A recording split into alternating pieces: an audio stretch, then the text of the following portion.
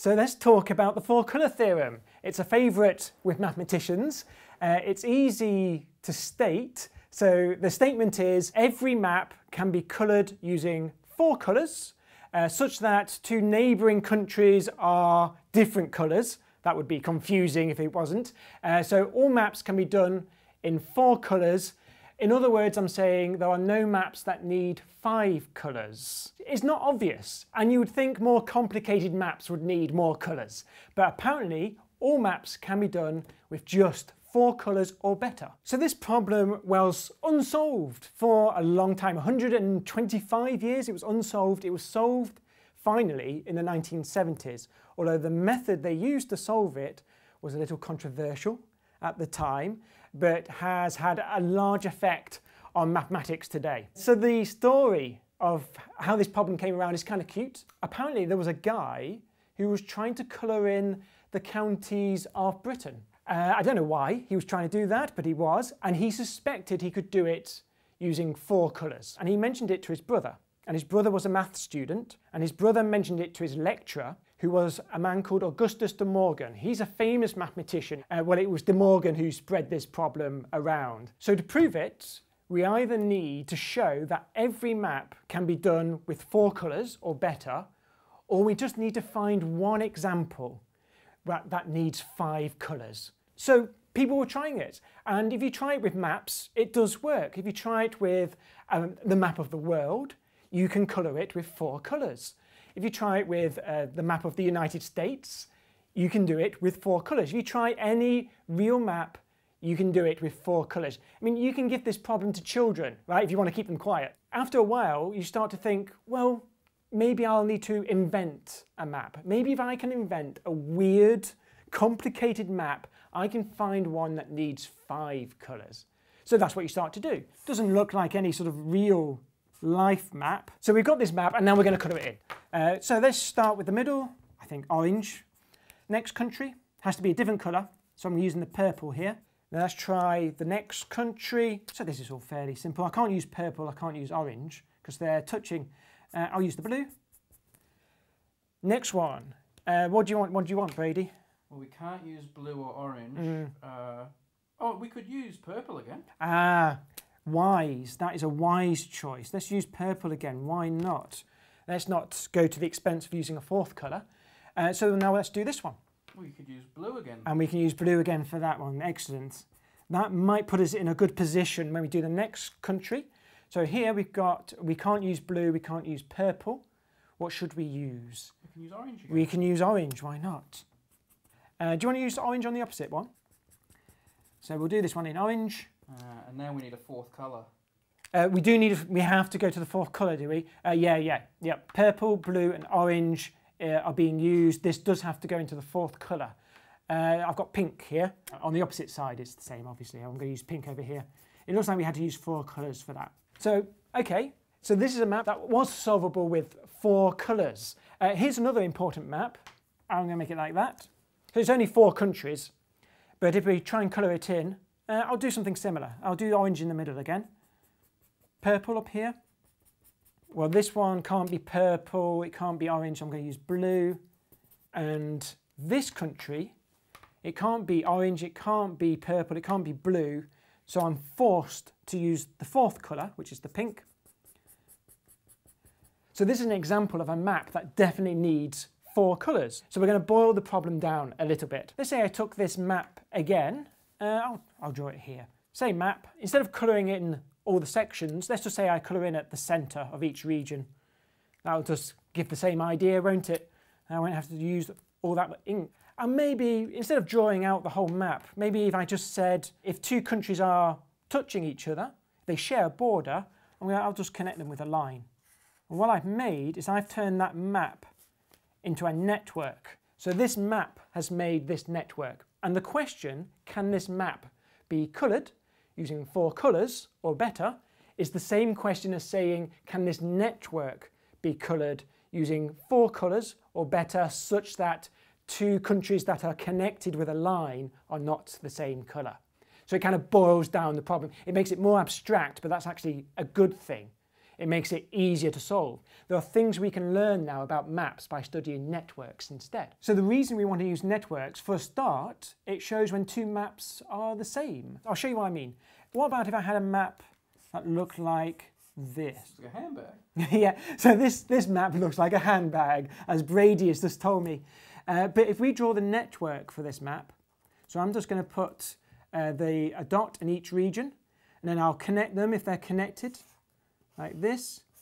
Uh, you will find that you get the same network as this previous map we did. So it was just four countries again. It gives me the same network. It's effectively the same map, even though it looks different. So by studying networks, we can study all the different kinds of maps, even when they look different. Now, all maps make networks, but not all networks are valid maps. I'll show you what I mean. Uh, this is not going to be a valid map. And I'm going to say they're all going to be touching each other. They're all mutually touching countries. They all share borders. So it looks like, I got this right, looks like that. Now this is not going to be a valid map because if you try and turn that into a map, it's not going to work. The problem is the lines cross, which when you try and turn it into a map doesn't make sense. Uh, you, you, can try, but it just doesn't make sense. It is allowed if we can untangle the lines, and that might happen. I'll show you what I mean. So let's say these are countries here. And let's say these countries touch each other as well. So I would connect them with a line. But if I do that, you see the lines cross. I don't have to do it that way. I could have drawn a line like that. Uh, so I could have untangled that. So if I can untangle it, that's fine. That's a valid map. And by studying networks, there are some features of maps that we can learn by looking at networks. This one in particular, in any map, you're going to have a country. Let's call it A, country A, right? There's going to be a country in every map that's either just by itself. Like or, an island. Like an island. Or country A is connected to one other country. I mean, that might happen. Or country A is connected to two other countries. So you'll get a network that looks like that. That will be country A there in the middle. Or you might have country A, which is connected to three countries. This all seems perfectly reasonable. There's A in the centre. Country A could be connected to four countries or they are put A in, or country A could be connected to five countries. And that all seems reasonable. But every map will have at least one country that looks like one of these. What you can't have is every country connected to six other countries or more. All I'm saying is there is at least one country in that map that's either connected to one or two or three or four or five. But if you have a map where they're all mutually connected to six or more countries, that's a network that can't be untangled. So all maps have this feature. One of the countries is one of these on this list. Now we can start talking about the four colour theorem. This is actually going to be useful. So the four colour theorem is hard to prove. Uh, and they tried for a long time. Like I said, it took 125 years. They did manage to prove easier versions of the four colour theorem. So the four colour theorem means there are no maps that need five colours. I can probably prove that there are no maps that need seven colours. That's probably easier to explain. Um, okay, I'm, I'm going to have a go. Uh, okay, imagine there are maps that need seven colours. These are maps that can't be done with better, right? So there are maps that need seven. Pick the smallest one, okay? So you've got a small one. Now, because it's a map, it's going to contain a country which is going to be one of these A's that I've called here on this list. So take that country and pull it out. Just delete it, take it away. You've made a smaller map. Now, because it's a smaller map, that means you can do it in six colours. Do you remember the map I had was the smallest that had to use seven? So if I take a country away, it's smaller, I can do it with six. Great. If I put my country A back in, that means I have a spare colour to use for A. I mean, the worst case scenario is this last one here. And these could be all different colours. But if I put A back in, I'm still going to have a spare colour, a sixth colour that I can use, which shows that the map can be done in six colours after all. Now to show that all maps can be done with five colours, that's a little bit harder. Uh, the proof is exactly the same. The proof is exactly the same except in this worst case scenario down here at the end here, um, it becomes harder because if those are five different colours uh, and you put your country A back in, uh, you might have to reuse a colour, which you don't want to do. So the argument's a bit more complicated. You have to show that you can recolour it and you still have a spare colour for A. So it's a harder proof, but it's along the same lines. Then they try to do it with four.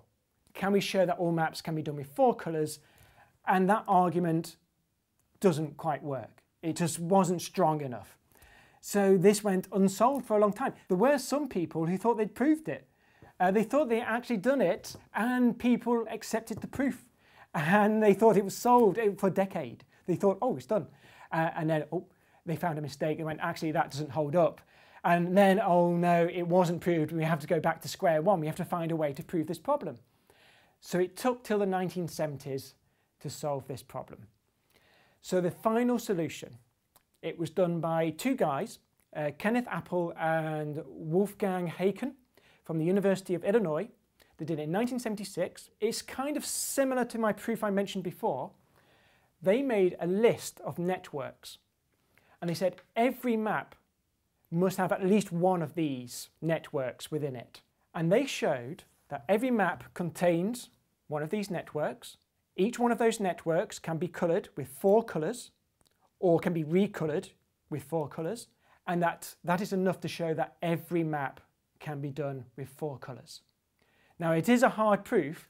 Uh, part of the problem was having to show that this list could be coloured with four colours because it was a long list.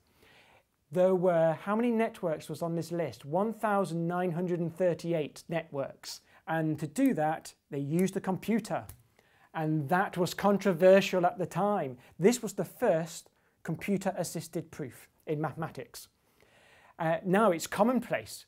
Uh, lots of mathematics is done with computers, but this was the first. And people were wary of this proof. For a start, one of the problems is it involves checking lots of cases. That's not the best kind of proof. It is a proof and it is valid. But the problem with that is it doesn't give you a deeper understanding of why something is true. Just checking lots of cases.